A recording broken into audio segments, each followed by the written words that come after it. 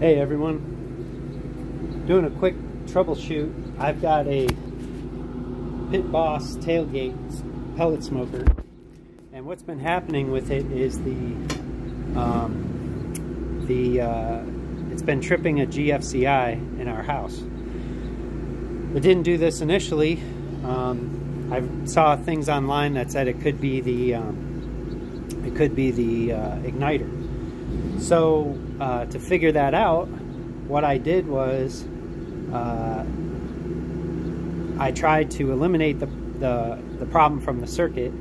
And nine times out of 10, when you have GFCIs and stuff tripping, it's usually the heating element. I always start at, at a heating element with in those situations. So, but how do you know for sure? Quick and easy way to know if you have any pellet smoker, you find out what wires connect to the heating element inside the inside the smoker. And then what you do, I'm to bring you down here. Here's what I did. That purple and white wire is your heating element, or the wires that power your heating element right here. So what I did, what was happening is it would run for about five minutes and then shut off and it would trip the element or trip the GFCI.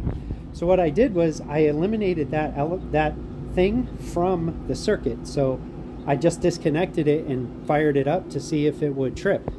Well, it's been on for about five minutes and it hasn't tripped, so that generally tells me that that's what the problem was. So I'm gonna, I went on Amazon, I bought one of these heating elements, I'm gonna replace it, and that should uh, fix the problem.